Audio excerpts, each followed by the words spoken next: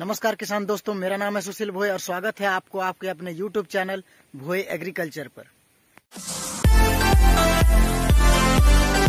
तो दोस्तों, आज की इस वीडियो के माध्यम से हम बरबट्टी फ़सल की पूरी जानकारी देने वाले हैं, जैसे कि इसके लिए सही समय, सही विधि और साथ ही सही जानकारी। तो दोस्तों, इससे पहले कि वीडियो में आगे बढ़े, वीडियो को एक लाइक और चैनल को सब्सक्राइब कर दीजिएगा। सबसे पहले बात करेंगे मिट्टी की, कि बरबट्टी की फ़सल के लिए किस प्रकार की मिट्टी की आवश्यकता होती है। तो दोस्तों, अच्छी जल निकासी वाली सही प्रकार की मिट्टी में इसकी खेती की जा सकती है, परंतु अच्छी पैदावार के लिए दोमट मिट्टी सर्वोत्तम मानी गई है। समय की बात करें तो दोस्तों, आप 12 महीने बरबट्टी की फ़सल को लगा सकते हैं। ठंड के कुछ दिनों को छोड़कर आप फरवरी से सितंबर तक इसकी फ़सल लगा सकते हैं। हमारा ये जो फ़सल है, हम अगस्त में इसकी फ़सल लगाए हुए हैं। अब बात करते हैं कि मिट्टी की तैयारी कैसे करें। तो सबसे पहले आप हल से एक बार खेत की अच्छी तरह से जोताई कर लें। उसके बाद आवश्यकता अनुसार उसमें गोबर का खाद या फिर रासायनिक खाद आप जो भी डालना चाहते हैं, पर्याप्त मात्रा में डाल दें और फिर उस पर रोटावेटर चलाकर एक बार पाटे से समान करके मेड़ बनाना चालू करें। और आइए हम वीडियो के माध्यम से मेड़ कैसे बनाना है और बरबटी की फ़सल कैसे लगाना है, इसकी पूरी जानकारी आगे वीडियो के माध्यम से आपको देंगे। तो दोस्तों वीडियो में आगे बढ़ते हैं।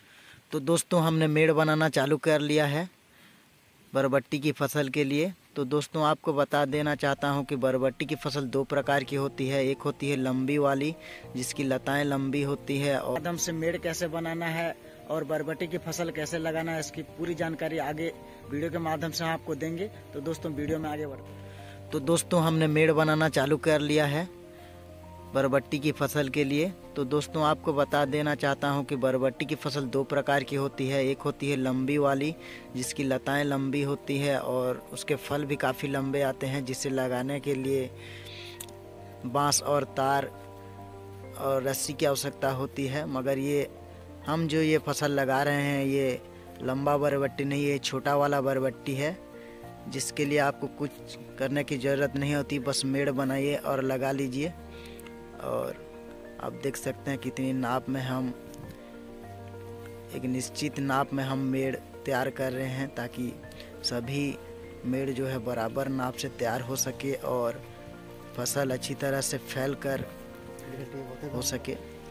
तो दोस्तों, एक अच्छी मेड़ बनाने के लिए हमको रस्सी और ये बम्बू की आवश्यकता होती है बाँस की।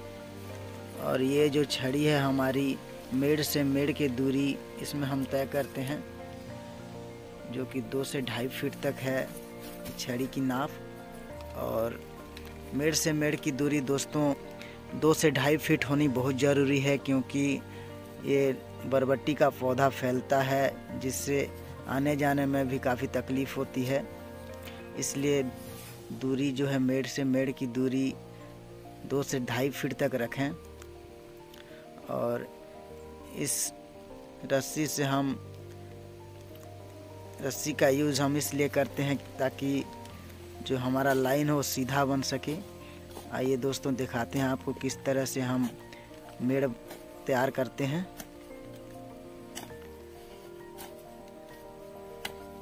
रस्सी को बीच में लेके दोनों तरफ़ से मिट्टी का चढ़ाव करते हैं मेड़ बनाने के लिए।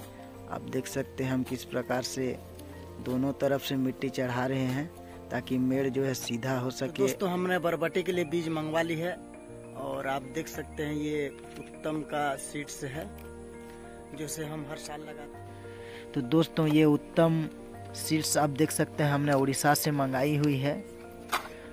और बरबटी के लिए काफ़ी अच्छी बीज है हर हर साल हम इसी बीज का उपयोग करते हैं बरबट्टी लगाने के लिए। और इसकी जर्मिनेशन भी काफ़ी अच्छी होती है। दोस्तों, ये प्रत्येक पैकेट जो है 100 ग्राम का आता है और पहले से बीज उपचार की हुई होती है। तो दोस्तों, हमने जो है पैकेट से बीज निकाल लिया है और अब हम इस बीज को लगाएँगे।